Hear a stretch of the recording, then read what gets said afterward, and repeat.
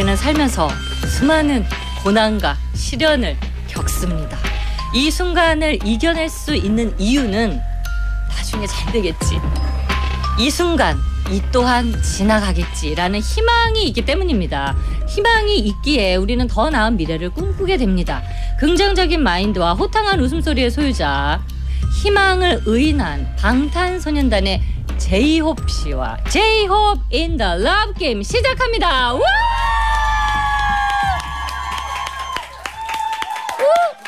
뭐 사실 더 이상 무슨 말이 필요하겠어요, 여러분. 이날은 정말 너무 오래 기다렸고요. 이 비를 뚫고 천둥과 wow. 번개를 뚫고 희망이 도착했습니다. 제이홉 씨 어서 오세요. 안녕하세요. 여러분들의 희망 제이홉입니다. 아니 정말 제이홉 씨 그 Jack 네. in the box 이렇게 평 튀어나오듯이 그평 튀어나오듯이 여기 앉아가지고 다시 한번 이렇게 인사 귀엽게 귀엽게 귀엽게 부탁드려요. 귀엽게 가- 감독님 조금 넉넉하게 잡아주세요. 가볼까요? 예, 둘, 셋. 안녕하세요. 여러분들의 희망 제이홉입니다. 아 정말 이런 유쾌하고 귀여운 모습도 너무 많이 보고 싶었고 아. 예. 아니 진짜 그간 너무 고생하셨어요 제이홉 씨. 아, 아닙니다. 아 정말 사실 이 앨범은 딱히 뭐 프로모션이 필요한 앨범은 아니고 어 이제 너무나 많은 분들이 듣고 계시지만 그래도 제이홉 씨가 첫 솔로 앨범이었고 맞아요. 거기에 부담도 많았을 거고 도전이었고 근데 그걸 다 그 역경을 이겨내면서 룰라팔루자 그 무대까지 와 저 완전 거기 반했잖아요. 그래서 정말 대견하다고 박수 한 번 박수 한 번. 아니 어. 제이홉 씨가 스스로 한번 칭찬을 좀 해주세요. 아, 네, 스스로. 이렇게 이렇게 시작부터 너무 큰 칭찬 받고 들어가는 것 같아가지고 아우, 이게 제일 약간 칭찬이고. 뒤에는 이제 없어요 칭찬. 아 그래요? 아 괜찮습니다. 지금 너무 아, 좋습니다. 아니 근데 정말 준비하면서 뭐 많은 어려움이 있었겠지만 제일 좀 마음에 부담이었던 게 뭐가 있었어요? 앨범 준비하면서. 일단은 사실 곡을 만드는 거에 있어가지고 그렇구나. 제가 너무 하고 싶은 것들을 많이 담아서 네. 그 부분에 있어가지고 좀 추후에 좀 많이 걱정이 되기도 하더라고요. 아. 그리고 또 거기에 비롯해서 이제 또 이 음악으로 많은 프로모션들 그리고 제가 준비했던 그런 프로모션들을 해결해 나가야 되니까 아. 거기에 대해서 아 이걸 내가 뭔가 이렇게 하긴 했는데 내가 잘 해낼 수 있을까라는 이런 걱정이 되게 컸었던 것 같아요. 그게 그러니까 사- 뭐 롤라팔루잖아 뭐 이런 등. 그러니까 사실 이제 기획을 다 이제 제이홉 씨가 한 거잖아요. 원래 굉장히 뛰어난 기획자입니다. 이제 그 아이고. 전에 음악을 만들 때도 음악만 만든 게 아니라 멤버들한테 많은 것들을 기획을 해줬었는데 이제 이거를 멤버들 다 같이 가는 게 아니라 본인 기획한 걸 본인이 다 이그지고 가려니까 그렇죠. 사실 걱정이 좀 되죠. 제 성격상 그런 것 같아요. 그렇죠. 뭔가 하나를 거쳐가도 그냥 제 지- 네. 제가 직접 해야 되고 약간 네. 이런 좀 성격이 있어가지고. 약간 또 쫄보 성향이 있어. 아 또 맞아요. 어, 약간- 정말 맞아요. 어, 약간 있어, 약간 여러분. 네. 근데 원래 그 천재적인 뮤지션들이 그 쫄보 기질이 약간 있어요 아이고 또. 가찬이세요. 인정 인정하시죠 쫄보. 아, 쫄보 인정하죠. 굉장히 쫄보죠. 근데 정말 룰라팔루자 무대를 보면서 너무 자랑스러웠어요. 그래서 아 이제 이런 아티스트가 있다는 거를 전 세계인들이 알고 대한민국을 알리고 있는데 너무 자랑스러웠어. 어유. 어 진짜. 근데 어. 근데 사실 여러분 그 과정까지 가기까지 뭐 살이 막 뭐 5kg씩 빠져가지고 막 60kg 아, 찍고 네. 막 난리가 났잖아요. 이제 어떻게 집 나갔던 살들은 다시 좀 돌아왔어요? 어 뭐 좀 계속 챙겨 먹으려고 노력 중이고. 근데 몸무게는 마찬가지예요? 네, 몸무게도 뭐 비슷하더라고요. 어? 네. 많이 안 올라갔어요? 어 뭐 한 1kg 정도인데 근데 요즘도 뭔가 이게 먹으면은 속이 약간 안 좋은 그런 좀게 아. 있는 게 있는 것 같아요 아직까지. 아, 그 원래 좀 네. 대식자 쪽으로 가줘야 되는데 왜냐면 막 너무 막 여섯 시간씩 연습하고 잠도 두세 그러니까요. 시간밖에 못 자고 막 그렇게 되니까 네, 그니까요. 아직 어, 속이 안 좋더라고요. 아 그래서 한 1kg 정도밖에는 안 돌아왔어요. 어, 네. 좀 계속 챙겨 먹으려고 하고 있고 네. 아무래도 살이 빠지니까 확실히 체력이 떨어지더라고요. 다른 거는 잘 예, 모르겠는데 그렇죠. 체력이 떨어지니까 이게 좀 활동하기에 많이 좀 힘든. 아. 네. 아니 왜냐면 롤라팔루자 그 공연을 보니까 많이 먹어도 체력이 떨어지겠더라고요. 아니 어떻게 19곡을 멘트도 없이 그렇게 한 시간을 이어달리기를 하는데 누가 어떤 사람이 그 체력이 당연히 딸리죠. 그러니까 돌이켜 보면 저도 어떻게 했나 싶어요. 예. 그거 다시 한번 하라면 할 수 있겠어요? 할 수는 있을 것 같아요. 어? 어, 할 수는 있을 것 같아요. 진짜? 네. 그러니까 뭔가 너무 세밀하고 정말 네. 철저하게 준비를 했다 보니까 그렇죠. 그 자다가도 일어나서 어, 네, 아 진짜? 네, 아 네. 그러면 우리 방시혁 대표님이랑 우리 회사 듣고 계시면은 이거로 정말 월드 투어도 아니면 콘서트도 아이고, 아이고. 가능할 수 있지 않을까. 아이고. 아니 왜냐면 이제 다시 하려면 못하는 도전들이 또 있거든요. 근데 하래도 또 할 수 있겠다 하면 아 이걸로 또 이제 world tour 솔로 콘서트 아, 이거 좀큰 아이고. 그림 좀 그려봐도 됩니까 저희가? 너무 우리- 큰 그림이라서. 아, 근데 네. 아직도 시카고에 못 오신 분이 더 많잖아요. 전 세계에서. 어, 그래서 사실은 뭐 유럽이나 이런 북미나 남미나 뭐 다 좀 해주시면 사실 좋긴 한데 어우 너무 좋죠. 예, 정말 네. 너무 좋은 공연이었기 때문에 그 영상을 많은 분들이 좀 봐주셨으면 좋겠습니다. 아니 오늘은 listening party에 관한 이야기도 좀 할 거예요. 네네네. 이게 사실 처음부터 기획을 listening party 제이홉 씨가 하셨고 네네.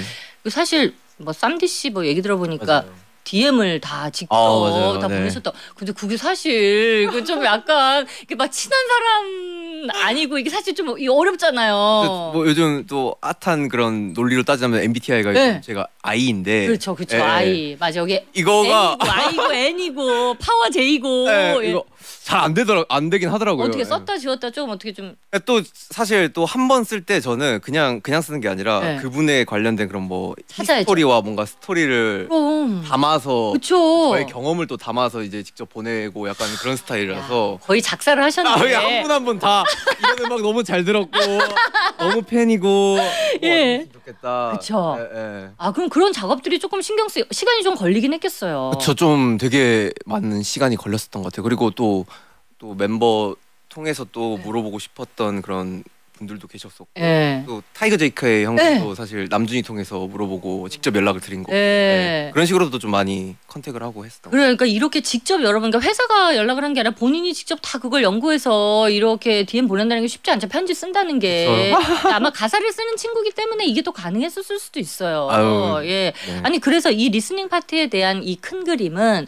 앨범 작사 작곡을 하면서 곡을 만들면서 이게 생각이 난 거예요. 아니면 작업 다 끝나고 이제 어 이제 내가 이제 어떻게 프로모션을 하나 이게 언제 음. 생각난 거예요? 일단은 뭐 작업이 다 끝나고 나서 생각이 아, 것 같아요. 곡 쓸 때는 몰랐다가 예, 예, 이 음악을 쭉 들어보고 아 이 음악을 좀 더 이 많은 관계자분들과 예. 좀 전문가분들 그리고 아티스트분들에게 좀 직접 들려드리고 음. 제이홉이라는 아티스트가 이런 음악을 하고 이런 사람이다라는 걸 좀 알려드리고 싶다라는 네. 생각에 준비를 했었던 거고. 예, 예. 앨범 작업이 이제 다 끝나고 나서 맞아요, 이제 저 만든 아이디어고 그러면 이제 현장에서 많은 피드백을 받았을 거잖아요. 네네. 예, 그랬을 때 지금까지도 아 나 진짜 이게 참 설렜다, 네. 인상적이었다 하는 피드백이 어떤 말이 있었습니까? 근데 사실 JK 형이 뭐 곡 중에서 이제 What If라는 네. 곡이 있는데 그 곡을 완전- 샘플링을 해서 예, 뭐 정말 많은 분들이 What If 이야기를 예. 해주시더라고요. 그 떼창하는 거 예. 들으셨죠?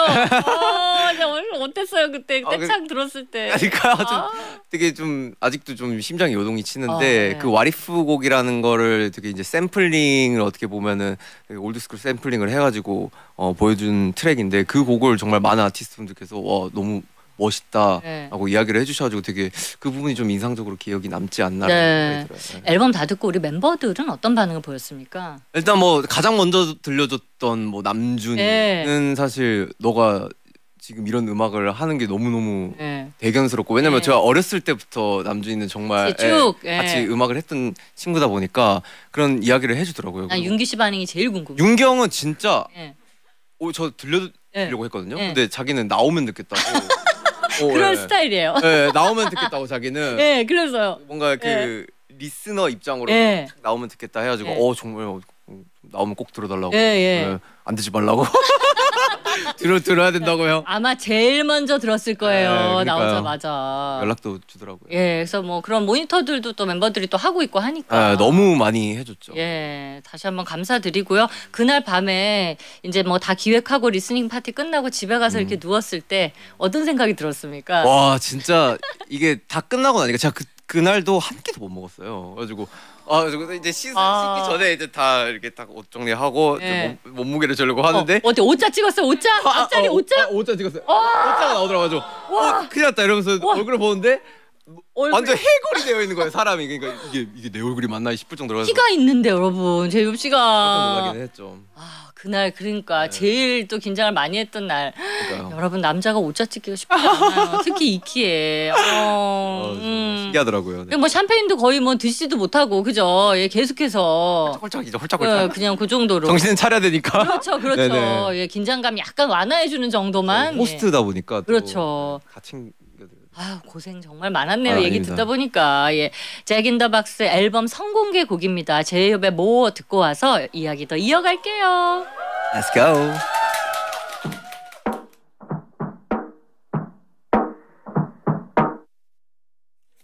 뭐라는 곡이었습니다 제이홉 이번 앨범의 선공개에 대해서 주목을 받았던 곡인데요 정말 자식 같은 곡들이 많은 곡들 가운데 10곡 중에 이 곡을 선공개로 한 특별한 이유가 있습니까? 일단은 가장 먼저 완성된 아, 곡이기도 그렇네요 했고 아. 그리고 제이홉이 이번 앨범을 통해서 보여주고자 하는 그런 많은 부분들이 처음에 이 곡을 공개했을 때 가장 네. 잘 보여줄 수 있을 것 같다는 생각에 이 곡을 됐습니다. 첫 자식이었군요. 우리만 선공개로 들은 게 아니라 제이홉 씨가 낳기를 처음에 낳은 자식인데 네. 아니 그러면 이 앨범 준비는 언제 이 곡이 딱 나왔을 때는 그때가 언제였어요? 사실 뭐 Jack in the Box라는 큰 타이틀은 뭐 데뷔하고 나서부터 아 이.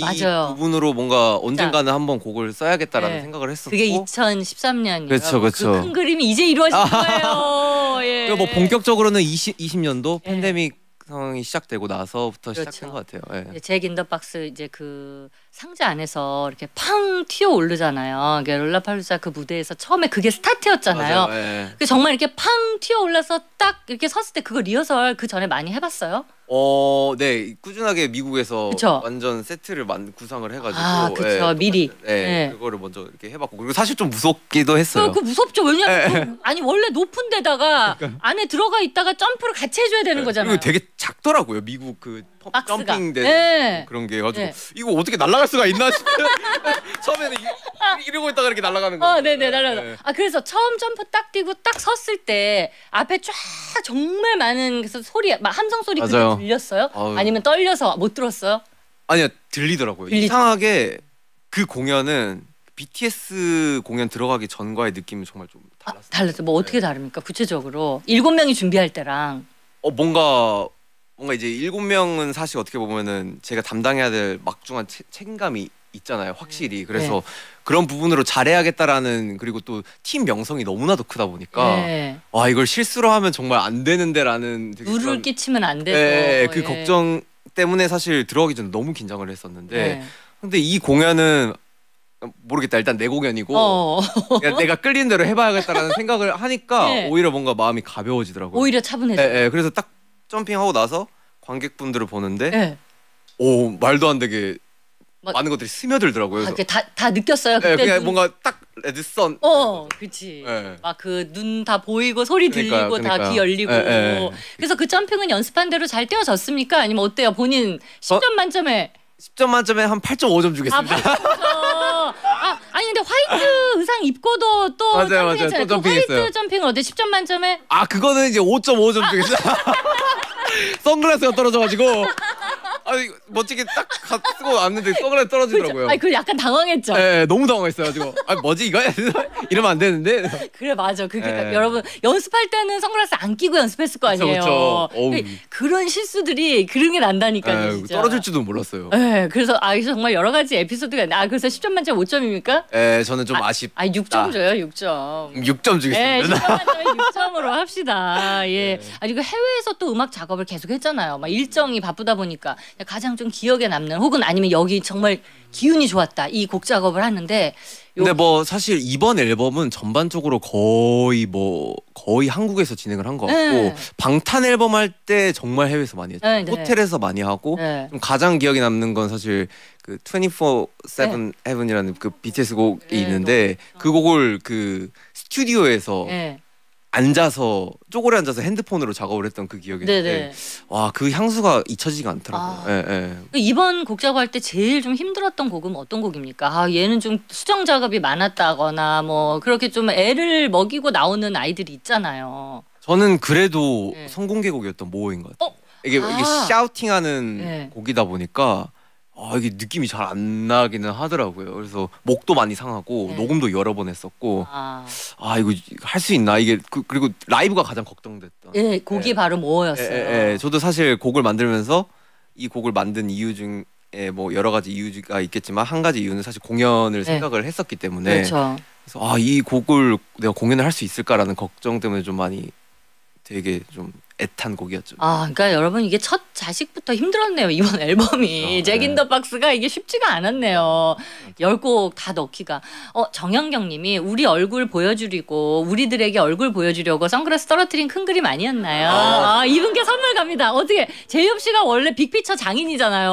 아, 어떻게 그 큰 그림이었나? 일부러 점핑을 좀 더 많이 했다거나. 안 말하려고 했는데 아, 아, 아, 큰 그림. 알아버리셨네요. 인정. 큰 음. 그림 인정입니다. 예. 어, 제이홉 너무 잘생겼고 사랑합니다. 배성민님. 이번에 제이홉님만의 색깔로 풀어내신 게 너무나 멋있었어요. 라는. 아니, 이번에 앨범 커버를 보면은 정말 강렬한 색깔을 많이 썼더라고요. 제이홉 맞아요, 씨가. 맞아요. 그죠? 네. 예. 어떻게, 어디서부터 좀 아이디어를 얻으셨는지. 기존에 제이홉이 보여줬던 그런 색깔을 보여주고 싶다라는 게 일단은 첫 번째였고 네. 그러면서 이제 너무나도 존경했던 그런 아티스트와 함께 작업을 네. 한 거고 예, 그리고 또 의상적인 부분으로 제가 하고 싶었던 이야기들 음. 담았고 예. 그러다 보니까 이런 아트 커버가 탄생이 된 것 같아요. 그래서 여러분 그 컬러가 너무 진짜 강렬하고 예, 멋있습니다. 그리고 희망이고 빛이다. 제이홉은 제이홉 씨 등장만 했을 뿐인데 오늘 하루의 피곤이 사라지네요. 3806님 이분께도 선물 갑니다. 사실 제이홉 씨 음악 들으면 진짜 너무 좋아서 이제 오늘 이 뒤에는 여러분 3부에는 어, 뭐, 열 곡을 다 들을 수는 없고, 예, 제가 제일 좋아하는 최애곡 세 곡을 먼저 뺐어요. 예, 그래서 그 세 곡을 제이홉 씨가 또 어떻게 작업 을 했는지 수록곡들도 들어보면서 이야기를 나눠보도록 하겠습니다. 이번 앨범 들으시는 분께, 아, 이거는 좀 주목해서 들어주세요 하고 얘기하고 싶은 음. 거 있어요? 사실 앨범의 흐름인 것 같아요. 아, 예. 1번부터 쭉 그쵸, 들으라고, 맞아요, 맞아요. 예, 스토리 라인이 있다고. 네네네 확실히 그 부분을 굉장히 신경을 썼기 때문에 네. 사실 호벌드에서는 어떻게 보면 제가 하고 싶은 거를 막 넣었다면은 이번 앨범은 좀 굉장히 좀 들으면서 뭔가 하나의 뭔가 소설을 읽듯이 네. 그런 걸로 뭔가 잘 풀어보자라는 거를 생각을 했었기 때문에 그 부분을 좀 유의하셔가지고 들어주시면 너무 감사드려요. 그래서 여러분 그냥 1번부터 쭉 그냥 순차적으로 들으면 그냥 그렇게 쭉 잘 들리고요. 그러면 이번에 곡은 너무 좋았지만 여기 스토리라인에 결이 안 맞아서 빠진 곡들이 있겠네요. 아, 어, 엄청 많아요. 어. 엄청 많고 네. 사실 거기에서 살아남은 곡이 모랑 이퀄 사인인 거. 아 네. 그래, 살아남은 곡이 예. 운이 좋았네. 걔네들, 걔네들 이번에 탄생이 된 거예요. 그러니까 예. 그 곡만 살아남고 나머지는 다 정리가 됐. 아 그래서 네. 지금 그냥 다 어, 보관함에 들어가 네, 지금 제 있나요? 하드에만 아 있군요. 이제 네. 걔네들도 나중에 나올 수 있죠. 아니 그래서 이퀄 사인이 이제 제일 가장 RMC가 그랬잖아요. 가장 제이홉스러운 곡이다라고 음, 얘기를 음, 했잖아요. 맞아요. 네. 그러니까 이게 다 보는 눈이 딱 있는 거예요. 그죠? 그러니까요. 네, 너무 맞아요. 음. 정확히 보고 있잖아요. 어, 저희가 광고 먼저 듣고 나서 예 좀 전에 이어 모어는 앞서서 들었잖아요. 근데 또 살아남은 애 그 두 번째 걔 또 들어줘야죠. 그러니까 광고 뒤에 이퀄 사인을 전해드리도록 하겠습니다. 잠깐만요. 우린 서로 갖춰 시선들을 맞춰 사람 위에 사람 먹고 사람 밑에 사람 먹어 let's roll 이거 제이홉 씨가 직접 곡 소개 좀 부탁드립니다. 멋있게. 아, 이 곡은 사실 그냥 제 주관적인 생각이 담긴 그냥 동등과 평등에 관련해서 담은 곡이고요. 굉장히 앨범에 유일하게 어떻게 보면 좀 밝고 이게 좀 제이홉스러운 곡이지 않나라는 생각이 듭니다. 이퀄 사인입니다, 여러분. 이 곡 2부 끝곡으로 듣고요. 잠시 후 3부에도 보는 라디오 그리고 너튜브 스트리밍으로 제이홉 씨 보실 수 있습니다. 여러분의 많은 참여 부탁드려요. 안녕.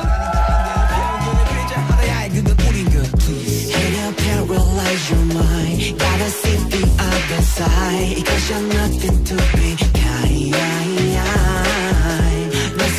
different you and I. Looking for love in a different light. Until we find an equal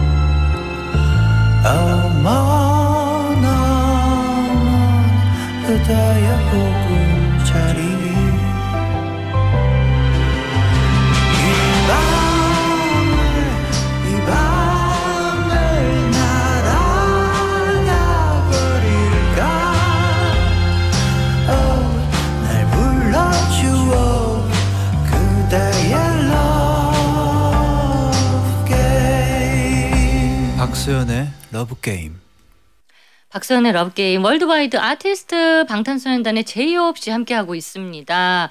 3부가 시작됐고요. 고릴라 보는 라디오 여러분 들어오시면 보실 수 있고요. 너튜브 예, 해외에서 보시는 분들은 영어로 자막 스트리밍 되고 있으니까요. 실시간 스트리밍으로 제이홉 씨의 모습을 보실 수 있습니다. 지금부터는 이제 음악 들으면서 앨범 이야기 조금 더 자세하게 나눠볼게요. 첫 번째 곡은 이 곡입니다.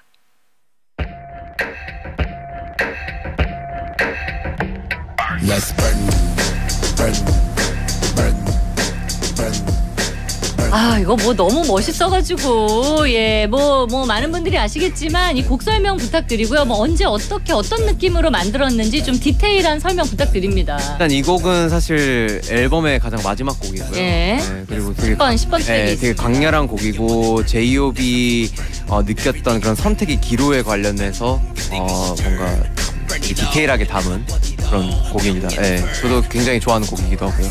너무 멋진 곡이고 사실 기승전결에서 결에 해당되는 곡이잖아요. 그러니까 굉장히 신경을 또 많이 썼겠죠. 사실 마무리하는 곡이기 때문에 네. 이제 뮤직비디오를 뭐 다 많은 분들이 보셨겠지만 여기에 이제 폭발신과. 뭐 난리가 났더라고요. 네, 네. 예, 불타오르네 이후에 그러니까. 진짜 아주 그냥 아 그래서 원테이크로 촬영해야 되는 것도 있고 네. 사실 뭐 그 당시 소리라던가 폭발음이라던가 네. 혹은 냄새도 우리가 맞아요. 느낄 수는 없지만 현장에 있었을 거 아니에요. 뭐 어떤 것들이 좀 신경이 쓰였는지. 일단 아무래도 말씀해 주셨다시피 원테이크다 보니까 그쵸. 거기에서 몇 번의 기회가 없다라는 거에 대해서 그쵸. 굉장히 좀 긴장을 아. 하고 있는 상태였고 예. 이제 좀 준비를 철저하게 하고 들어가야 되는 그런 상황 속이어서 예. 가지고 그런 부분에서 좀 많이 신경을 썼던 것 같아요. 그리고 뭐 터지고 이런 거는 사실 이제 거기에 너무 집중을 하다 보니까 잘 안 들려요? 예, 예, 그냥 아 이걸 잘해야 돼. 내 모션에 신경을 써야 돼라는 네. 생각에 크게 막 그럼 그 모션이라고 하면 사실 그 걸음걸이 뭐 디테일 막 그쵸. 이런 거 표정 막네 그런 맞아요 거요? 맞아요 어. 사실 테이크가 두 번 찍을 수 있었는데 그렇죠. 테이크 1이 있었고 예. 테이크 2가 있었는데 네, 뭐가 선택됐어요? 결국 테이크 2가 선택이 되는데 진짜 마지막까지도 감독님 테이크 1으로 가면 안 되겠냐 네. 근데 이미 뭐 VFX나 뭐 이런 게 많이 들어가 버려 가지고 예. 힘들다 아. 아, 이런 조율이 마지막까지 이루어질 정도로 굉장히 좀 치열하게 테이크 1과 테이크 2가 아 그러면 제이홉 씨가 보기에 테이크 원과 투의 가장 큰 차이점 뭡니까? 뭐 내 표정이라든가 뭐 내 뭐 뭐가 제일 차이가 커요? 그냥 그나마 네. 그 안에서도 잘생긴 거와 못생김의 차이 근데 뭐 아, 이건 잘생겼는데 모션이 아쉽고 예, 예. 이거는 비주얼이 약간 떨어지는데 근데 너무 집중도 있게 아. 아. 티스틱하게 잘 나온 거예요. 아 그 아티스틱하게 나온 걸 선택해야죠. 근데 그게 저도 어, 네 그러고 싶었는데 아니, 보는 비주얼이 아니, 그래서 어, 그러면은 네. 약간 못생긴 버전이 지금 채택이 됐다는 거예요?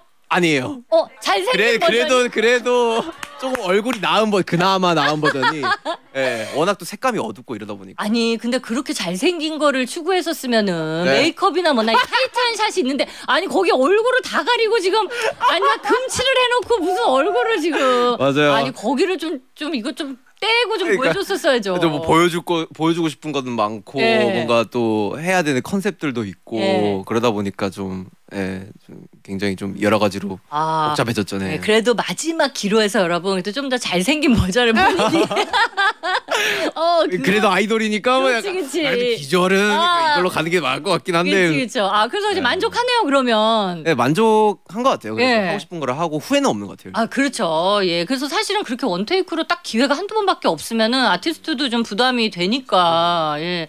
아니 이제 나에게 물어 이불을 끌지 더 타오를지. 네. 예. 사실 이 이거에 대한 어떤 힌트 음. 예 이거 러브게임에서 좀 주고 가세요. 짧게 주셔도 됩니다. 사실 저는 그냥 항상 어떠한 거를 뭐 만들거나 할 때는 되게 열린 결말을 되게 좋아하는 것 그래 같긴 해요. 끄지 마 근데 끄지 마. 근데 이제 사실 제 활동들을 보시면은 그게 답이 딱 정해져 있지 않나라는 아. 아, 네. 네, 여러분 답이 좀 됐어요? 어, 그래서 더 이상 추가 질문을 하지 않을게요. 아, 네. 네, 너무 멋진 곡이라서 예, 방화 예, 많은 분들이 뮤직비디오 검색 부탁드리겠습니다. 계속해서 다음 노래 이어갑니다.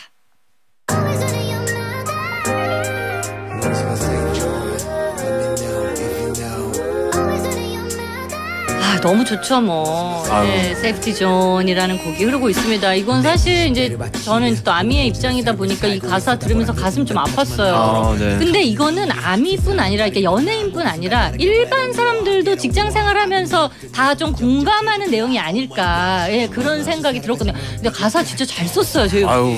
아유 가차해집니다. 어, 저는 이 가사 진짜 감동적이었어요. 요때 어떻게 좀 수정 작업 많았나요? 아니면 한 번에 좀 술술술술 썼나요? 어, 이 곡은 수정 작업 전혀 없이 어? 한 번에 써. 봐봐. 그러니까 이게 참 이상해. 이게 한 번에 쭉 쓴 가사인데 너무 그게 와닿더라고요, 맞아요, 맞아요. 가사가. 저도 굉장히 굉장히 애착이 가는 곡이기도 하고 네. 또 꼭 이 주제를 다뤄보고 싶었던 곡이기도 해서 너무 좋은 것 같아요. 곡 설명 이번엔 좀 밝은 버전으로 부탁드릴게요. 아, 그래요? 예, 우리 그때는 이제 약간 눈시울 약간 붉어진 버전 봤는데 좀 밝게 부탁드려요, 제이홉 씨. 뭐 제이홉의 안전지대는 과연 있을까라는 아. 곡이고 뭐 그 안전지대는 역시 아미겠죠. 뭐. 아~ 맞아, 저 그 멘트 들었었어요. 예, 나의 safety zone은 아미다. 맞아요. 근데 정말 제가 생각하고 요즘에 느낀 거는 어, 제이홉 씨에게 안전지대는 우리 멤버들이 아닌가 그런 어, 생각했어요. 굉장히 큰 힘이 돼요. 어, 제가 롤라팔루자 그 공연 끝나고 나서 V LIVE 켰잖아요, 제이홉 씨. 근데 그때 얼굴을 딱 봤는데, 야, 이거를 V LIVE를 할 수 있을까? 막 피골이 상접한 거예요. 이걸 혼자서 할 수 있을까? 너무 걱정이었는데, 얼마 안 돼서 바로 그 지민 씨가 투입이 됐잖아요. 근데 원래 제이홉 씨 그 호탕한 웃음소리, 네. 원래 돌아왔더라고요. 그 에너지가. 근데 진짜 신기한 것 같아요. 이거는 어, 그, 그 전에 막 다 죽어가다가, 네. 제이홉 씨가 막, 막 웃고 있는 거예요. 멤버가 주는 에너지가 정말 분명하게 있더라고요. 아니 근데 그때 지민 씨가 사실 공연을 관람하기도 했지만 그 브이라이브에서 특별히 뭐 어떤 멘트를 하거나 뭘 한 게 아니었잖아요. 근데도 제이홉 씨가 막 날라다녀. 맞아요. 그냥 그 존재 자체가 너무나도 큰 힘이 된 거죠. 그래서 사실 지민이가 오전에 왔었는데 네. 제가 이제 막 밤에 막 깨어난 그런 상태였어요. 네. 방도 어둡고 네. 어둡다고. 그래서 형님 내가 왔다 이거 하면서 문 열었는데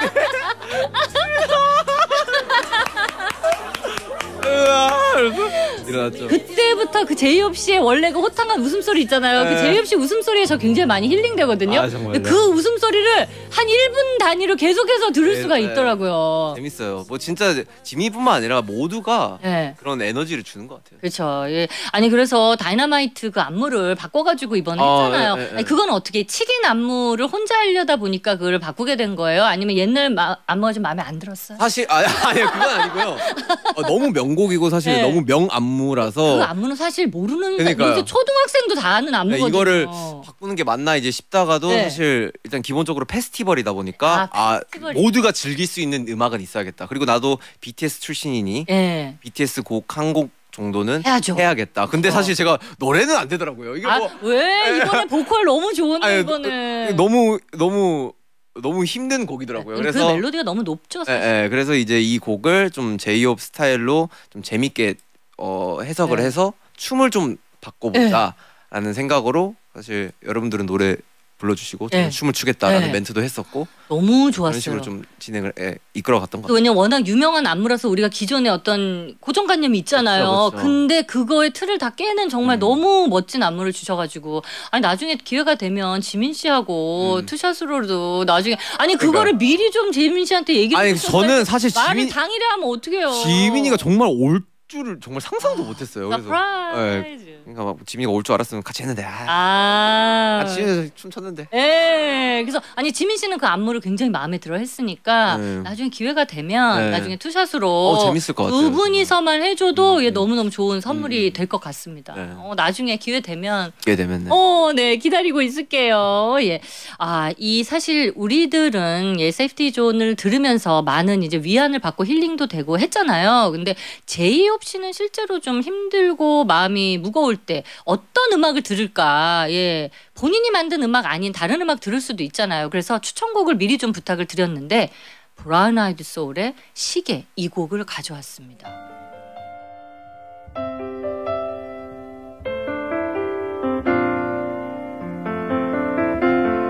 네, 너무 어렸을 때부터 듣던 음악이고 네, 그래 이때 막 10살 막 이때 아니에요? 네 맞아요. 그래서 연 뭐 춤을 거의 처음 접하고 나서부터 들었던 음악이고 이 음악이 어떻게 보면은 들을 때마다 그때 그 시절이 생각이 나가지고 어릴 때가 에에에에 어릴 때는 한 번씩 스쳐 지나가는 되게 향수처럼 확 오더라고요. 네. 네, 그 향수가 그래서 아, 이 곡은 정말 들으면 들을수록 되게 위안이 된다. 어. 네, 그 어렸을 적에 나 또한 어떻게 보면 온전한 나니까 그 시절이 있었기에 내가 지금 있고 아 한 번 정말 되게 한번 돌아가 보고도 싶다라는 생각도 들고 예, 네, 그런- 돌아가 보고 싶다. 어린 시절을 굉장히 행복하게 네. 따뜻하게 예, 맞아요. 그리고 또 잘 보냈죠. 이 곡이 되게 의미가 있는 게 제가 네, 어렸을. 때 그 댄스커를 했었어요. 네, 네, 댄스커를 했었는데 사실 제가 미리 한번 쳐봤어요. 네. 그게 나오나 네. 그게 안 나오길래 이 이야기를 하는 거예요.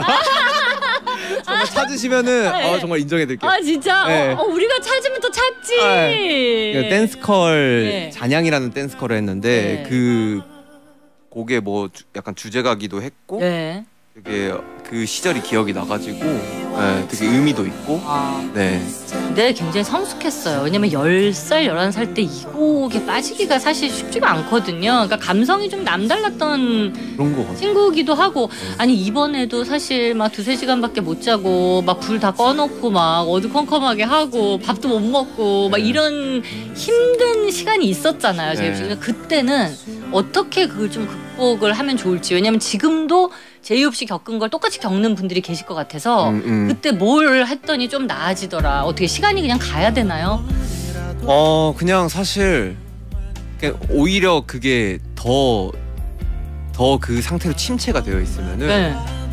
많이 힘들어지긴 하더라고요. 그래서 일부러 저는 사실 나가기도 했거든요. 네. 그걸 좀 보면서 햇빛도 보고 이 햇빛 봐야 돼요. 많은 것들을 눈으로 담아 보니까 이 눈으로 담는 게 결국 또 마음으로도 가더라고요. 그래서 아, 그래요. 아 이런 것들을 내가 즐기고 있고 되게 생활하고 있구나 되게 아름답게 해서 또 많고 그런 식으로 좀 요즘은 해소를 하고 해결을 하려는 편인 것 같아요. 아니 근데 불을 왜 이렇게 끄고 있었어요? 마음이 어두워서?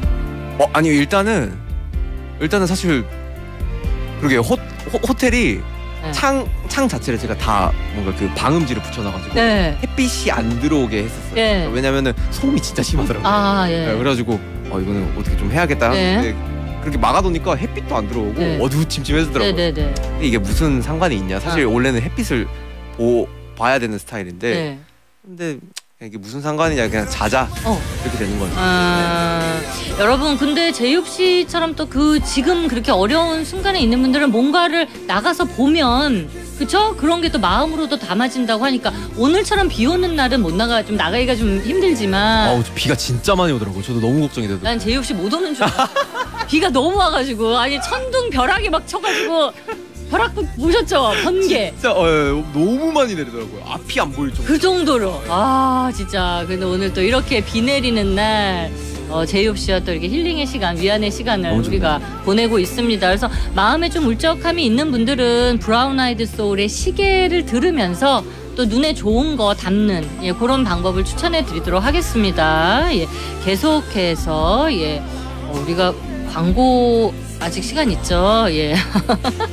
네 그리고 다음 곡을 또 이어드, 이어드리도록 할게요 이번에 제가 개인적으로 가장 좋아하는 곡입니다. 이 곡이. 어, 이 곡 너무 좋았어요. 곡 설명 좀 부탁드립니다. 이 곡은 사실 퓨처 제목 그대로 미래에 관련된 제이홉의 미래에 관련된 노래고요. 제이홉이 이때까지 말했던 뭐 희망을 가져라, 뭐 love yourself 해라 이런 이야기들이 어쩌면 나에게도 정말 필요한 부분이었구나. 그냥 흐르면 흘러가는 대로 살고 그 내가 이야기했던 이야기들을 나한테도 한번 이입을 시켜보고 미래를 한번 살아가 보자라는 그런 밝고 정말 제이홉 같은 곡이죠. 맞아요. 용기와 믿음, 막 이런 게 막 긍정의 리듬, 막 이런 게 너무 좋잖아요. 예. 어떻게 이런 가사는 금방금방 써졌습니까? 어, 네. 그쵸? 확, 확실히 저의 이야기를 담다 보니까 네. 가사 자체는 나오기는 하죠. 예, 빨리빨리 또 만든 네, 곡이죠. 경험에 의해서 나온 거죠. 예, 그래서 제가 최애로 생각하는 곡들이 또 굉장히 또 쉽게 작업한 네, 곡들이 많이 그러니까요, 그러니까요. 많이 있네요. 예. 네. 아니 여기 이제 후반부에 어린이 합창단의 음. 코러스 이거는 어떻게 곡 처음에 쓸 때부터 구상을 한 거예요? 그냥 뭔가 이 꿈과 희망에 관련된 노래를 하다 보니까 그런 그런 거에 좀 걸맞는 목소리가 나왔으면 좋겠다. 네. 그래서 좀 어린 친구들 합창단을 아. 좀 이렇게 해서 녹음을 하면 네. 좋은 또 곡이 탄생하겠다라는 네. 생각으로 이제 프로듀서 형한테 말을 했고 그게 이렇게 잘 녹음이 된 것 같아요. 아니 그러니까 너무 그 신선한 느낌이더라고요. 네, 네. 갑자기 또 아이들의 아이들이 주는 어떤 느낌이 있잖아요. 맞아요. 그 되게 동심의 세계로 네. 뭔가 돌아가는 듯한 느낌. 또 너무 좋더라고요. 아니 가사에 또 강을 거스를 수 없는 연어 막 이런 거 쓰셔가지고 예전에 제이홉 씨가 했던 그 말들이 막 생각났어요. 예, 거스를 수 없는 네. 흘러가는 그렇죠, 그렇죠. 흘러가는 뭐 이런 이야기. 어떻게 연어 맞아요. 그런 거 근데 생각한 거예요? 그냥 좀 그냥 이 곡을 쓰면서도 아뭐왜 내가 좀 삶을 거스르려고 뭔가 많은 것들을 그냥 시도를 했을까? 그냥 흐르면 흐르는 대로 살지. 결국은 결국은 저 혼자 상처받고 저 혼자 마음의 피투성이가 되고 그렇게 되더라고요. 그래서 그냥 순리에 맞게 한번 네. 살아보자라는 게 됐었고 이 시점에는 예. 네, 이거의 감정을 좀 고스란히 이 곡에 담아보자라는 생각으로 곡을 작업했던 것 같아요. 근데 이 곡을 이제 만들고 앨범 작업을 할 때는 참 많이 힘든 것들이 있었겠지만 이거를 롤라팔루자 그 공연장에 이거 이제 엔딩 그 맞아요. 막곡이었잖아요. 이게 음. 정말 너무 너무 멋있었어요 제이홉 씨. 나 진짜 너무 멋있었고 이제 정말 많은 사람들이 그 순간을 즐겼고 그래서 제이홉 씨에게는 고통의 시간이었지만 우리에게는 참 행복이었다. 아, 이런 생각도 들고 어떻게 그때는 마음이 어땠어요? 이제 열, 정말 18곡 원래 이제 맞아요. 다 이제 부르고 이제 마무리되는 네. 시점이었잖아요. 네네네. 이 곡을 부르고 막 뒤에 아티스트들 소개하고 막 그쵸. 이럴 때는 마음이 어땠습니까? 근데 생각보다 저 저한테는 체감상 너무 빨리 지나간 거예요. 네, 맞아요. 우리 우리도 근데 엄청 아, 왜? 빨랐어요. 우리도 너무 빨리 지나- 훅 지나가지고 어, 어, 씨, 끝났네 이제 이제 퓨처 부르니까 진짜 끝나가는 시점이니까 그렇죠. 확 긴장이 풀어져요. 완전 더 풀어지더라고요. 그래서 아, 예. 아 좀 더 좀 더 이 순간을 내가 직접적으로 담아봐야겠다. 네. 여유가 생기니까 예, 예. 막 이제 한 보는 보는 거죠. 어 이제 그, 주변을. 어 그게 다 보여요. 근데 예, 주변을 보고 뭔가 막 스탭들도 보이고 예 예. 막 다 보이는 거예요. 이제 뭐 어. 사진 찍듯이 분도 어, 보이고. 어, 예, 예. 그렇지 여유가 생긴 거죠 그만큼. 그러니까요. 예, 아니 밴드 그, 얼굴도 한 분 한 분 다 보이고. 그래서 곡을 뺀 거예요? 하다 곡을 쓱 빼시더라고. 아. 예, 맞아. 예, 뭔가 예. 확실히 생기더라고요. 그게 뭔가 네. 보, 뭐 가리고 있으니까 뭐 뭐야 지금 어, 뭐지 이러면서 오케이 좀 봐야겠다 이제 좀이 주변을 보고 내가 여기를 왔다라는 걸 좀 느껴보자. 아, 예, 네네. 왜냐면 막중한 책임감이 있었으니까 그 예. 전까지는 예. 잘해야 된다라는. 그쵸. 예. 아. 네, 그때부터 이제 여유를 좀 찾기 시작했죠. 어, 그래서 곡을 쓴 것도 멋있었는데 여러분 보려고 이걸 쓱 이렇게 어, 뺐다는. 맞아요. 예. 되게 재밌- 아 진짜 멋있었어요. 마지막에 이렇게 싹 내려갈 때. 그러니까 예, I'll be back 막 약간 영화 그 그 영화 알아요? 알죠. 옛날 영화. 토니- 옛날 영화 그거 예. 알죠? 약간 하, 멋있게 퇴장할 때 느낌 어땠습니까? 아 근데 진짜 다시 생각을 해봐도 예. 그냥 계속 생, 생각이 날 것 같아요. 그 순간이 제가 어. 튀어 올라오고 예. 다시 들어가고 그쵸. 하는 그 순간이 정말 제, 제 음악 뭐 히스토리에 정말 큰 부분을 차지할 것 같고 예 맞아요 그러니까 이제 투어를 이제 하셔야죠. 아유 투어를 세계 투어를 아, 정말 이제 체력이 회복되는 대로 요즘에는 이제 몸무게 육자 찍잖아요 앞에 그쵸, 그쵸. 앞자리 찍으니까 이제 조금 더 체력이 회복되면 어 나중에 상황이 또 좋아지면 예 나중에 꼭 한번 개인적으로 제이홉 씨가 이렇게 투어를 하는 모습을 진짜 꼭 보고 싶습니다. 예. 감사합니다 홍유진님이 곡 설명을 듣고 들으니까 더 좋네요. 그래서 원래 곡자가 이렇게 나와서 본인의 스토리 좀 얘기해주고 만든 경험을 얘기해주면 그 곡이 더 친근하게 다가옵니다. 그래서 오늘 이 시간을 맞아요. 만든 거였고요. 제이홉 씨와 함께 만들었는데 우리의 희망, 예, 제이홉 씨, 제이홉 씨가 들었을 때 힘나고 어, 희망찬 노래는 뭐가 있을까 또 궁금해서 저희가 여쭤봤는데 추천을 이 곡을 해주셨어요. 블루의 One Love. 아 맞아요 네, 이 곡을 추천해 주셨습니다. 진짜 옛날 곡이에요 아니, 근데 이런 곡은 이제 어떻게 알게 된 거예요? 유, 옛날 걸 다시 듣는 거예요? 어떻게? 저는 옛날 음악을 듣는 걸 정말 좋아해요. 네. 그래서 사실 뭐 Chicken Noodle Soup이나 어, 맞아. What If 같은 곡들도 그쵸, 제가 그쵸. 다 어렸을 때 듣던 음악들 네. 해석하고 이런 곡들이라 그래서 이 곡도 사실 춤출 때 몸 풀 때 듣던 음악들이고 아 네. 옛날에 맞아요. 예. 그러면서 뭐 함께 음악을 공유했던 친구랑도 같이 뭐 공유를 하면서 야 이거 너무 좋지 않냐 음. 너무 좋다 이러면서 많이 들었던 음악 그래서 최근에 다시 듣게 된 곡 예. 어. 아니 그럼 여기에는 어렸을 때 기억하면 생각나는 춤이 지금 있어요? 몸풀기 할 때 춤 지금 기억나요? 몸을 몸을 어떻게 풀었다는 거예요? 어떻게? 그러니까 보통 어렸을 이런 음악이 나오면은 예, bounce 저 bounce를 타죠 한번 한번 부탁드려요. 네. 아. 아 bounce를 이렇게 먼저 타주고 네. 이제 뭐 하면서 이제 몸이 풀리면은 어떻게 해요? 이동? 네, 이동도 하고 이동으로 아, 아. 그러니까 이 음악에 계속해서 몸을 푸는 거죠. 그렇죠, 그렇죠. 몸을 푸고 워밍업을 하고 이제 본격적으로 춤을 그렇죠. 아니면 이제 부상이 올 수 있으니까 그래서 이제 이렇게 하다가 옆으로 이동, 앞으로 이동 이제 이렇게 해서 푸는 거죠. 아니 어린 시절을 생각하면 본인의 어린 시절은 어땠다고 생각해요? 부모님 입장 보시기에 아 육아 난이도 상중하 중에 나는 계단 중이었다. 어 아니 저는 정말 말을 잘 잘 들었어요. 어, 말 잘 들었어요. 아, 그러니까 부모님 와, 제 입으로 말하기는 약간 아. 낯간지러운데 그래도 말을 잘 듣는 친구는 아- 친구가 아니었나. 네, 이렇게 이제 부모님 얘기하면 다 듣고 그쵸, 예, 그쵸. 일탈 없고 저 일탈도 많이 안 했었고 네. 사실 오히려 더 부모님에게 도움이 되어드리기 어. 위해서 아, 계속 좀 제가 하고자 했던 그런 꿈들에 대한 그런 목표 를 굉장히 좀 잘 잡고 네. 계속해서 도전을 했던 네. 그런 그러니까 착한 아들이었어요. 아니 그래서 제이홉 씨가 만든 마마라는 곡을 제가 이제 그쵸, 너무 예. 제가 좋아하거든요. 아, 진짜 마마. 옛날에도 얘기했었는데 네. 그런 가사를 보면 아 그래 진짜 효자 그냥 철든 아들이었구나 뭐 이런 생각이 듭니다. 그 곡을 쓸 때도 정말 많은 것들이 주바등처럼 스쳐 지나가더라고요. 엄마와의 그런 기억도 그렇고, 그렇죠. 예, 예. 엄마가 어떻게 나에게 이렇게 좀 지원을 해줬고 도움을 줬는지 네. 이런 것들이 너무 스쳐 지나가면서 저도 되게 좋아하는 곡이에요, 마마. 이번 앨범 듣고 또 공연 시카고 공연 보고 부모님 반응은 어떻습니까? 아, 얘기 좀 해줘요. 너무 좋아하시더라고요. 진짜 너무 좋아하시더라고요. 이게 연락 그 단체 방이 있는데 네. 연락 방이 있는데 그 방에서도 정말 너무 대견스럽다고 아들을 다시 왔다고. 그래 네, 자랑스러워 진짜. 네, 뿌듯하더라고요. 예. 어떻게 보면은 어 부모님에게 사실 정말 도움이 되어드리기 위해서 열심히 했던 꿈 어, 꿈이었고 그쵸. 목표였는데 그걸 이루고 나서 부모님에게 정말 당당하게 보여드리는 네. 그런 거 자체가 사실 뭐 의미가 남다르더라고요. 네. 그리고 이게 부모님들 보실 때는 일곱 명의 아들이 이제 다 내 아들 같지만 그래도 일곱 명을 보다가 내 아들이 혼자 나와서 하고 있으면 그 감격 그것도 9년 만에 네. 이루어진 일이잖아요. 그러니까 부모님도 색다르신 거예요. 그러니까 뭔가 그렇죠. 항상 일곱 명 그림만 보다가 그렇죠. 아들이 무대 에 혼자 있는데 약간 좀 신기하다고는 하시더라고요. 네, 맞아요. 그래서 부모님한테는 아마 최고의 이제까지 아마 9년 중에서 가장 최고의 효도가 아니었을까. 아유 너무 좋네요. 아니 부모님한테 한마디 남겨주세요. 아유 어머니 아버지 항상 만수무강하시고 건강하시고 맛있는 거 잘 챙겨 드시고 아프지 마시고 사랑해요. 아 너무 무성하게 남기는 거 아니야? 연락을 진짜 자주 했어요 최근에. 그렇죠. 예. 어 그래서 이제 항상 곡 들어보면 부모님에 대한 애정도 묻어나는 뭐 이런 곡들이 많이 있고 해서 제이홉 씨 어린 시절도 한번 좀 여쭤봤고요. 예. 어 호비 바른 생활 어린이 신다슬님이 보내주셨고요. 예. 부모님은 좋겠다 이런 착한 아들이 있어서 아이고. 밥안 먹어도 배부르실 듯해요. 윤인희님이 사실 뭐 이런 아들이면은 아들 뭐 열도 낳지 그렇죠. 근데 어제 그 카드 내역 보니까 맛있는 거 드셨더라고요.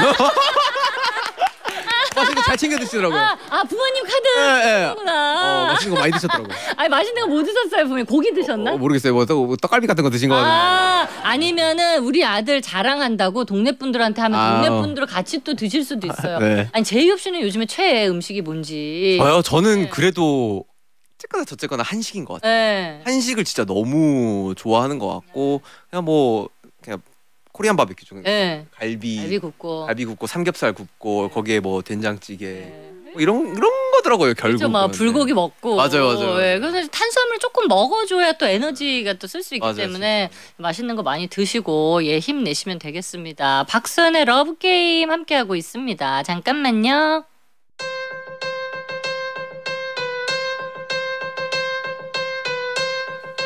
3부 끝곡으로는 와리프 이거 앞서서 곡 설명 좀 짧게 해드렸는데 예 요거 곡 만들 때 뭐 기억나는 에피소드 있으면 좀 알려주세요. 그러니까 이 곡은 사실 제이홉이 제이홉에게 한번 질문을 던져보고 싶더라고요. 네. 너는 과연 이런 사람이냐? 원래부터 너의 너 너가 가지고 있는 그 진심은 뭔데? 한번 말해봐. 음. 그리고 한번 알려줘봐. 약간 이런 식으로 저한테 질문을 던지는 곡이기도 네. 한 것 같아요. 이 곡은 쉽게 작업했습니까? 이 곡은 근데 생각보다 쉽게 나왔던 것 같아요. 네. 근데 사실 그 녹음하는데 좀 애가 좀 많이 먹었던. 어 왜요? 녹음할 때 왜요? 워낙 또 목을 긁는 노래다 보니까 네. 확실히 그걸 긁는 노- 녹음을 할 때 오래 걸- 예, 오래 걸린 것 같아요. 아. 뭐 컨디션이 확 안 좋아지고. 네네네 목을 긁어서 여러분 와리프의 이곡 듣고요. 잠시 후 4부 이어드릴 텐데 4부에는 오늘 여기 자리에 함께 하신 서른 분들이 질문을 오셔서 제이홉 씨한테 미리 썼어요. 아, 진짜? 왜냐면 개인 개인 다 궁금한 게 다르잖아요. 그래서 제가 궁금한 거 이제 다 여쭤봤어요. 그래서 여러분들이 궁금한 거 붙여놨는데 그 중에 한 다섯 개 여섯 개를 제이홉 씨가 뽑아주시면 잠시 후 4부에 이어드리도록 하겠습니다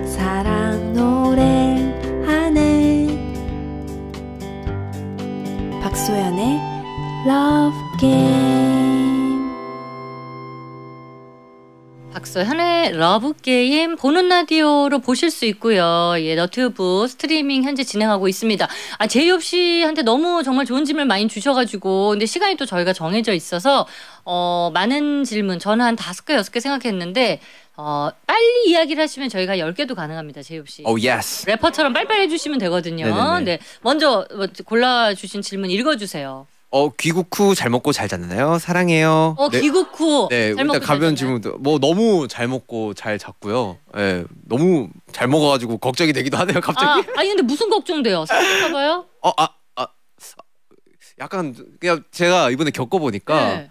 아 그래도 이 몸무게가 좋아요? 몸이 일단 텐션이 가볍고 어, 뭐 가볍죠. 어, 어. 네. 어, 얼굴도 예뻐 보이기도 하는 것 같고 아. 막 약간 이런 생각이 좀 들긴 하더라고요. 아니 근데 정말 여러분 최고의 다이어트 그러니까 이게 외모가 그러니까 네. 어떤 성형을 하지 않아도 이 다이어트 한 그러니까. 5, 6kg가 빠지면 얼굴이 확실히 달라지거든요. 네. 특히 이제 앵글로 보면 더 그러니까, 달라져서 어. 지금 얼굴 마음에 들어요? 저요? 네, 오늘 어때요? Love myself 하고 있습니다. 아, 들어요. 멋져요. 멋져요. 아이고. 예. 잘 먹고 잘 잤다고 합니다. 네네. 그날은 잘 잤어요? 그 V LIVE 끝나고 우리 시카고에서 롤라팔로자 공연 끝나고 보라 하트 우리 막 맞아, 맞아. 보라 네. 하트 보고 바로 나가서 밥 먹었어요? 어, 그 바로 지민이랑 밥 먹고 기절했습니다. 기절을. 어, 누가 누, 누가 막 쏘듯이 기절하다. 아 누가 이렇게 친 듯이 네, 어, 어. 어. 아, 잘 먹고 기절. 네, 네, 예, 네. 그 이후로 잘 먹고 있습니다, 여러분. 네. 예, 다음 질문 갈게요. 자, 호석이를 팬들은 뭐 다람쥐나 꽃사슴으로 표현하는데 호석이는 뭐가 더 좋아? 그렇죠. 리고 다람쥐. 사랑해 어, 김도희님께서. 네, 다람쥐 꽃사슴. 하나, 둘, 셋. 어, 저요? 아, 그래도 다람쥐. 아기자기한 다람쥐가 더. 아, 다람쥐. 야, 여러분 다람쥐. 꽃사슴보단 다람쥐로. 오케이. 예, 다음 질문 갑니다. 자, 롤라팔로자 시청을 미국 지역 제외하고도 전 세계 1,500만 명이 시청을 했어요. 혹시 호비도 봤어요? 나중에 모니터링을 했다면 모니터한 소감은요? 그렇죠. 아니 모니터는 언제쯤 했을까요? 한 몇? 저는 귀국하고 와서 어 여기 와서. 네, 봤던 네, 네, 네. 그래서 보면서 와 내가 정말 1 시간 15분 가량의 시간을 이렇게 이 끌었구나. 미쳤어, 미쳤어. 그 제가 볼 때도 사실 저는 제 자신에게 좀 칭찬을 많이 안 하는데 한 부분이 네. 제가 봐도 어.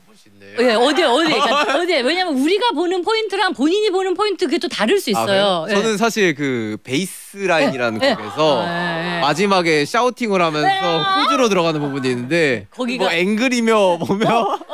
신기하더라고요. 제가 보여드리지 않았던 모습이라서 예. 저 또한 신기해서 약간 계속 봤던 것 같아요. 그 곡은 마- 연습할 때는 어떻게 그좀 마음에 부담이 있었던 곡이었어요. 어땠어요? 아, 가사가 너무 겹치는 게 많았어가지고 예, 예, 예. 아 이거를 어떻게 외우지 근데 싶었던 가사 사실 그좀 아 맞아 맞아 띄우기도 하는데 근데 이게 띄우는 거 보면 오히려 더 틀리더라고요.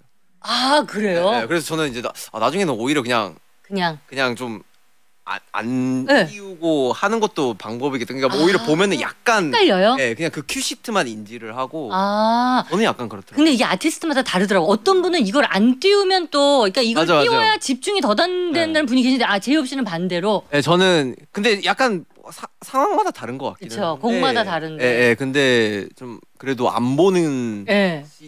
으로 해야지 좀 더 관객과의 소통과 이런 게 집중도를 확 줄 수 있는 부분인 것 같아요. 다음번에 모니터 다 빼고 갈게요. 네.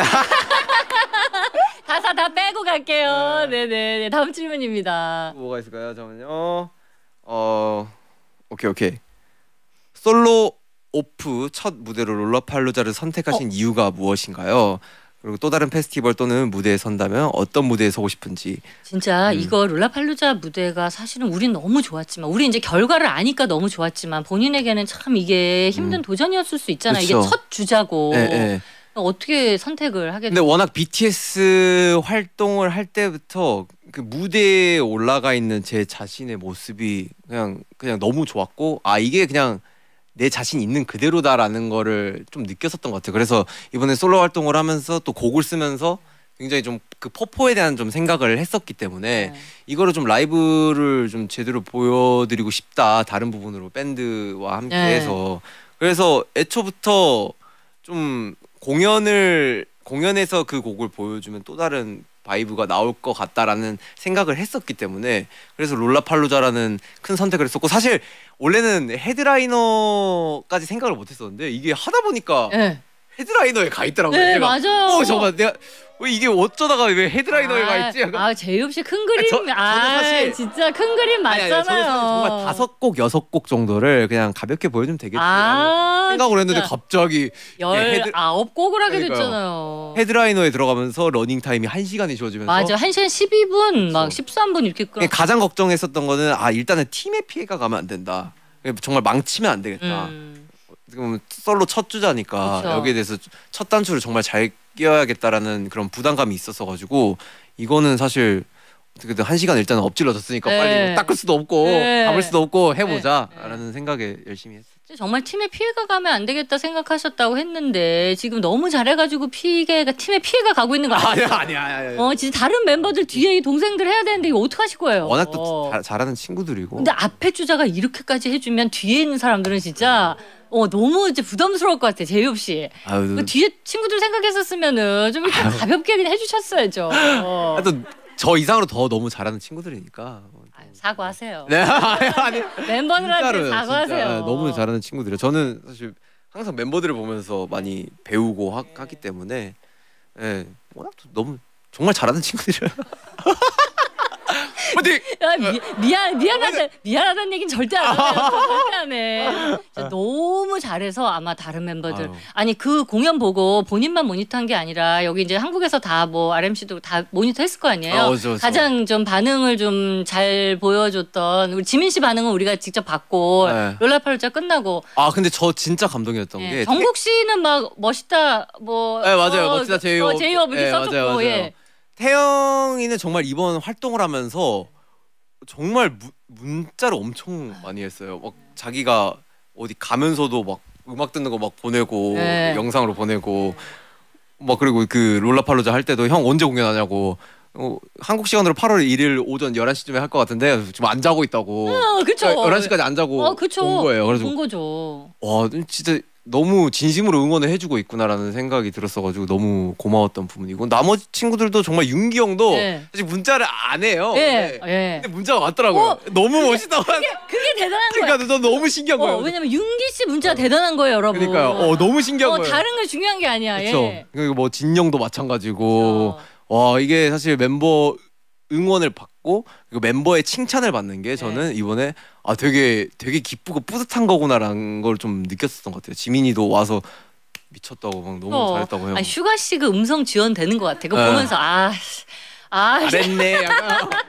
예, 그- 예, 아마도 그런 느낌으로 보지 않았을까. 막 거창하지 않는데 그냥 담백하게 한마디 하는데 네. 그 말이 되게 마음을 울리는. 그렇죠, 맞아요. 우리 슈가 씨 스타일을 아니까. 그렇죠. 예, 다음 질문 있습니까? 다음 질문 네. 네, 정말 많은데 시간이 게- 게- 괜찮은 네, 빨리, 건가요? 빨리 말씀하시면 돼요. 제이홉 씨가 얘기를 래퍼처럼 빨리빨리 아, 해주시면 그래요? 됩니다. 잠시만요. 예, 아. 빨리 빨리 읽어주시면 됩니다. 아, 아 그럼 이거 할게요. 그냥 네. 이번 롤라팔루자 이후 댄스 crew들이 후기에 팀 제이홉이라고 했는데 어. 예. 늘 댄서분들에게 감사함을 표하는 제이홉에게 댄스는 어떤 의미인가요? 댄스는 어떤 의미? 댄스는 사실 빠질 수가 없는 부분인 것 같은데 사실 저도 이번에 활동을 하면서 팬분들께서 사실 춤이 없는 거에 대해서 굉장히 좀 아쉬움을 많이 아니, 그렇죠. 표를 하시더라고요. 그래서 예. 아이 부분에 대해서는 뭔가 저도 생각을 하고 있었고 좀 음악적으로 많이 보여주고 싶었던 부분이 또 있었기 때문에 사실 춤은 저랑 뗄래야 뗄 수가 없는 사이이고 음. 앞으로의 음악을 보여준다면은 한 번 더 되게 제이홉의 무기를 보여줄 수 있는 그렇죠. 그런 음악을 가지고 나오지 않을까라는 생각이 들기는 해요. 제이홉 씨 큰 그림이 여러분 이제 이번에 반전으로 탁 이제 음악 보여주고 이제 또 숨겨놨다 본인 또 춤은 워낙 또 자신이 있으니까 나중에 이제 또 한번 짜잔 하고 공개를 알겠어. 해주실 것 같아요. 춤은 정말 추면 출수록 되게 즐거운 부분. 예. 어 근데 그 댄스 크루들 그 뒤에 소개할 때 있잖아요. 너무 멋있었던 게 우리는 약간 의상을 그 다 좀 비슷하게 입는데 거기는 각자 다 다르게 다른 컬러로 입었는데 그게 너무 또 합이 잘 맞더라고요. 맞아요, 다 맞아요. 다르게 입으니까. 맞아요. 그래서 약간 한국하고 좀 다른 그런 느낌이 있었어요. 뭔가 그 문화 겪는 문화가 어떻게 보면은 다르기도 하고 굉장히 좀 자유분방하기도 하더라고요. 네. 친구들. 그래서 보는데 어 되게 멋있다, 너무 네. 잘 어울린다. 그리고 자연이 주신 의상을 그냥 그대로 그렇죠. 그냥 옷을 안 입고 자연이 주신 의상으로도 하는 친구들도 있고 야. 너 되게 쿨하다고. 어, 되게 멋있다. 어. 그 세션 한 명씩 이렇게. 소개하는데 아예 그냥 잘 그냥 그 모습 그대로 나오셨더라고요. 에, 멋있다라는 네. 그 샤라웃을 많이 했죠. 어 정말 우리 사실 그렇게 생각 잘 못했는데. 아 이제 나중에 깜짝 놀랐습니다. 예, 아 이렇게 해서 질문 이제까지 우리 몇 개 했나요? 요 분들께는 저희가 선물도 드릴 수 있는데 한 두세 개 더 할 수 있어요? 어, 그럴까요? 마지막으로 네. 어 그럼 이거 할까요? 세계 최강 다람쥐 호비 네. 임초인님 오빠는 아- 아니지만 오빠라고 부를게요. 아, 파워 제이인 제이홉 저는 계획했던 일이 틀어지면 미친 듯이 스트레스를 받아요. 아 그쵸. 호비는 계획이 엇나갈 일이 더 자주 있을 것 같은데 그럴 때 마주하는 스트레스를 극복하는 방법이 있나요? 일단 사랑합니다. 우리 엄마 이름 한번 불러줘요. 문혜란. 아 귀엽다. 아, 문- 아, 아, 이 이거요? 친구예요. 아, 아 진짜요? 아 귀여워, 대박이다. 예. 저도 사실 틀어지면 정말 스트레스를 받게 돼요. 아이고 다, 다 그렇죠. 예, 예. 예. 그러니까 뭔가 하려고 했던 부분이 좀 약간은 안 됐을 때 아 이게 왜 이렇게 됐지? 좀 근데 근데 결국 짜증을 내봤자 결국 돌아오는 거 또 나한테 그렇죠. 그런 것 뿐이더라고요. 네. 그래서 그냥 온전하게 그냥 받아들이고 여기에 대해서 더 상황에 맞게 해결을 해보자. 라는 생각을 좀 많이 하죠. 음. 여러분 이게 그러니까 자기와의 싸움이에요. 결국은 딛고 일어나는 것도 그러니까요. 예, 자기가 또 딛고 일어나야 돼서 이제 네. 많이 경험하다 보면 훨씬 더 그 시간이 짧아지겠죠. 음, 음. 예. 요 정도에서 마무리. 여러분 만족하세요? 네. 오늘 진짜 원래 한 세네 개 생각했는데 제이홉 씨의 또 래퍼기 때문에 또 말을 빨리 해서 예 이렇게 빨리빨리 진행을 해봤고요. 제이홉의 스탑을 듣고 예 여러분과 인터뷰 이어가도록 하겠습니다. 요 곡 흐르는 동안에 요 곡 만들었을 때 느낌 좀 설명 부탁드려요. 아, 이 곡은 이 곡도 사실 이퀄 사인이랑 좀 비슷하게 네. 굉장히 그냥 세상 사람들에 대한 저희 그냥 정말 주관적인 생각을 담은 곡이고요. 그냥 아직까지도 저는 믿음 중에 하나는 그냥 세상에 나쁜 사람은 없다라는 믿음으로 살아가고 있고 뭐 인간의 본연의 모습만 한번 바라봐 보자. 어 그러면 다르지 않을까. 그리고 뭔가 그런 세상을 만들어가기 위해서는 우리부터 바뀌어야 되지 않나. 그래서 그 작은 시작이고 또 큰 걸음이 될 수가 있고 한번 변화를 해보자. 사실 저는 음악을 쓸 때 제가 뭔가 대단한 세상을 뭐 바꾸려고 막 쓰진 않아요. 그러니까 어느 정도의 그 일부분, 그러니까 piece of peace죠. 그러니까 네. 평화의 한 조각이라도 될 수가 있다면은 나는 그것만으로도 굉장히 내가 음악하는 데 있어 그리고 내 내 스토리를 담는 데 있어 굉장히 의미가 있겠다라는 생각을 항상 했었죠. 예. 그냥 그런 곡 중에 어, 하나인 것 같아요. 굉장히 좀 힙하면서도 또 제이홉스러운 제이홉이 이야기할 법한 곡 중에 하나이지 않나라는. 그러니까 이게 제이홉 씨가 힙한 게 참 잘 어울려요. 그죠? 예. 그래서 이 곡이 너무 멋집니다. 예. 너무 멋진 곡이에요. 예. 스탑 흐르고 있습니다.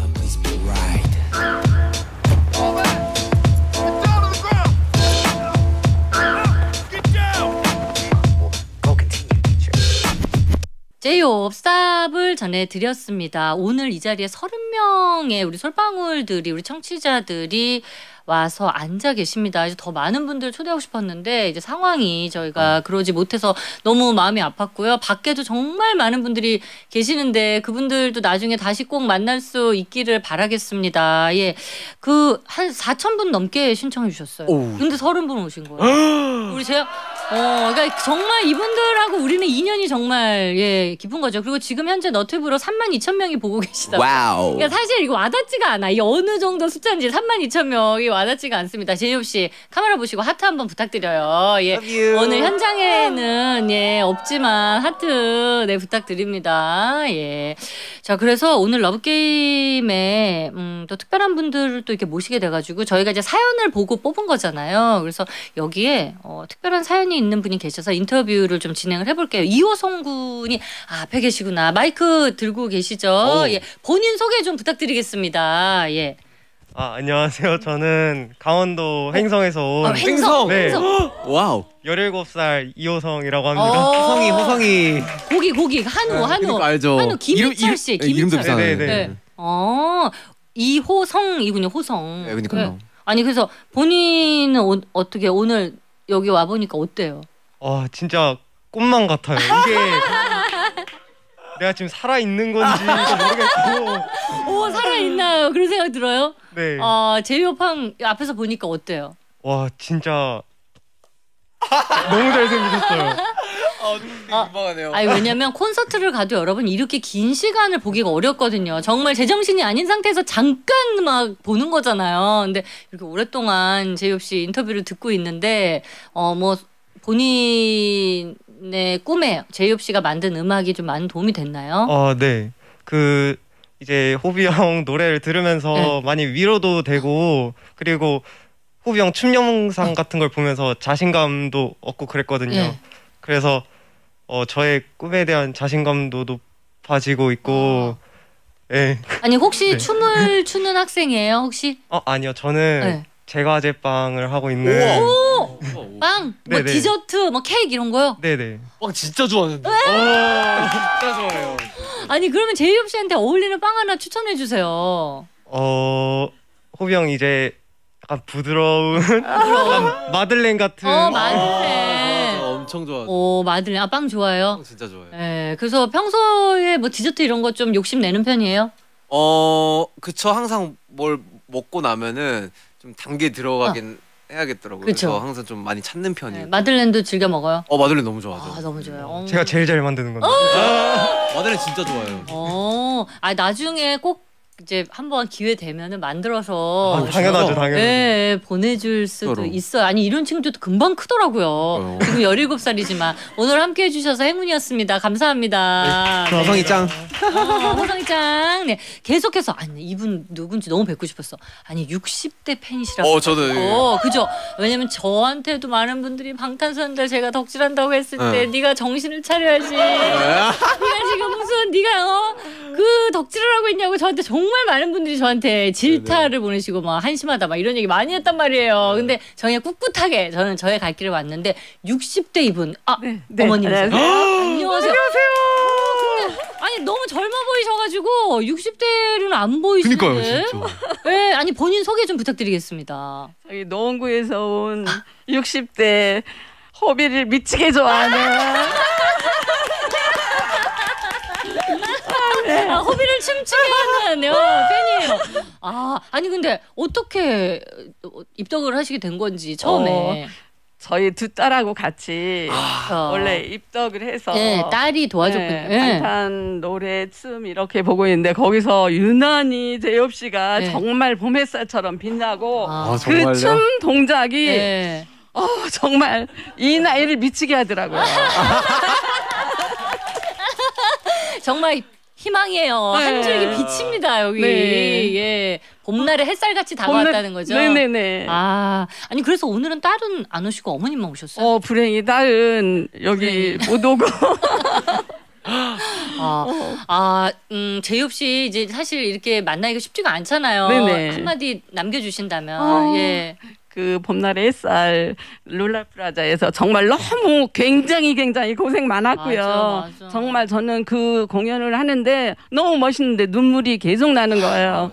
그 갑자기 얼굴 살이 너무 많이 빠져가지고 그쵸. 그 얼마나 고생했는가를 제가 느끼겠더라고요. 네. 그래서 마음이 많이 아프면서도 정말 아미질 잘했다. 어, 아미 되길 잘했다. 네네. 아 어, 정말 너무- 오래오래. 그러니까 네. 사실은 이제 어머님 같은 팬들이 이제 제이홉 씨 아까 일어나서 춤추게 하잖아요. 제이홉. 씨한테는 또 큰 희망이고 빛이고 네네네. 해서 앞으로 계속 오래오래 그- 건강하게 예, 응원 부탁드리겠습니다. 어. 예. 그 봄날 햇살 같은 그 미소 오랫동안 잊지 말고 건강히 호흡이 하고 싶은 거 다 하고 진짜 네. 아, 건강히 오래오래 즐겨줬으면 좋겠어요. 네, 감사합니다. 위해서라도 열심히 하겠습니다 진짜. 파이팅 어머니 감사합니다. 봄날 같은 미소 이제 우리 타이트하게 감독님 우리 제이홉 씨 얼굴 한번 잡아주시고 봄날 같은 미소 한번 부탁드릴게요. 자, 아, 네, 3, 2,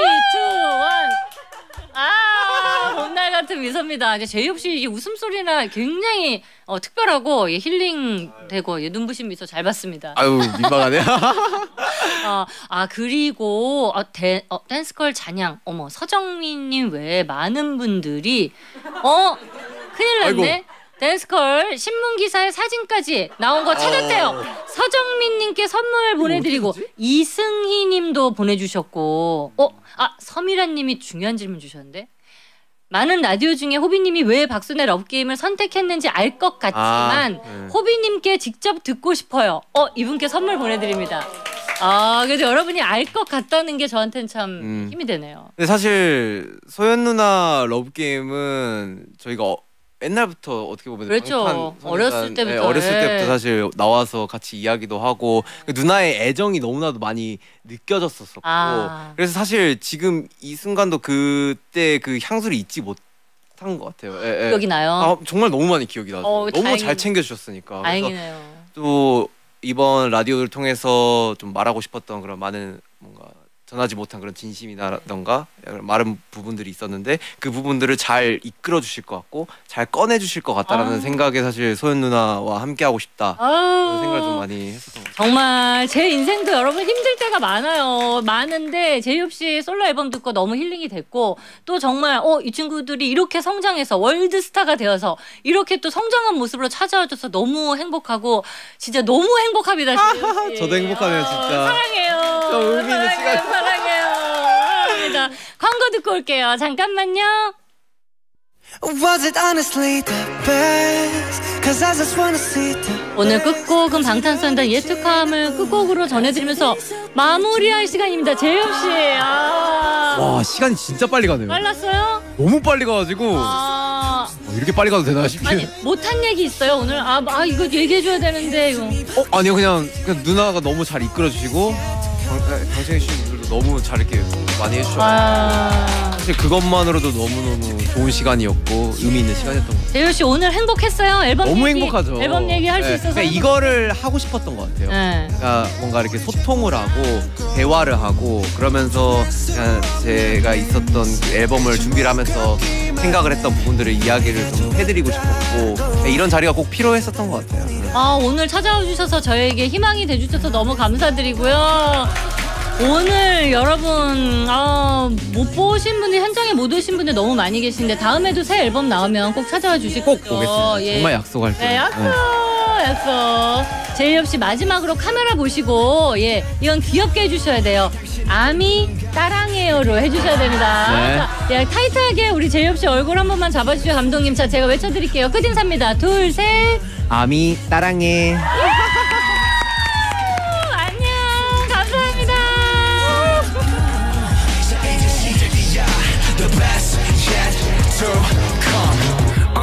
붙은 불편한 수식어 최고란 말은 아직까지 난 간지러워. 나난 말야 강음하게 좋은 걸. 예전에 그때와 다르게 별로 아마 다른 게 별로 없다면 you say so lie 난 변화는 많았지만 변함은 없었다. 해 어느 샷도 매 순간이 새로운 트레서 지금 난 마치 연세살 그때 나처럼 아직도 배울 게 많고 나 인생 채울 게 많아. 그 이유 물어본다면 내 심장이 말하잖아 We ain't about it ain't about it. 최고란 기준에 stand 원간 갖고 수많은 trophy Dream and hope and going for it. About it 긴긴 원을 돌아 결국 또 제자리 Back to one.